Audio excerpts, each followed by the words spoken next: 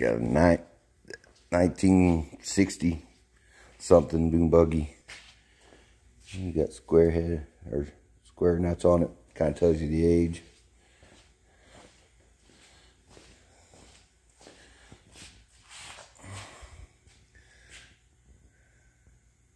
Kind of cool. Traded a Chevy, 1992 Chevy pickup, 96 Chevy pickup for it. I only had like 850 bucks in the pickup truck. Traded it for this thing. Um, messed around with a little bit. Put new plugs and wires on it. They didn't have a cap or anything in stock for it at the O'Reilly's. Uh, no, I think it was, I think it was both, all of them. O'Reilly's, AutoZone, um,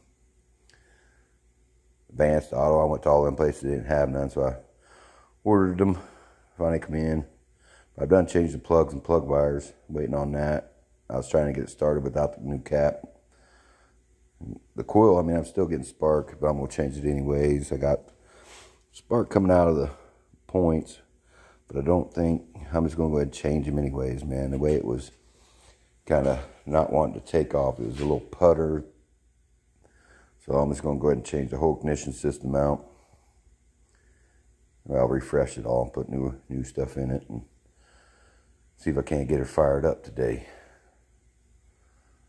So I'll get back with you when I get some of the stuff changed and then we'll try to, I'll record trying to start it.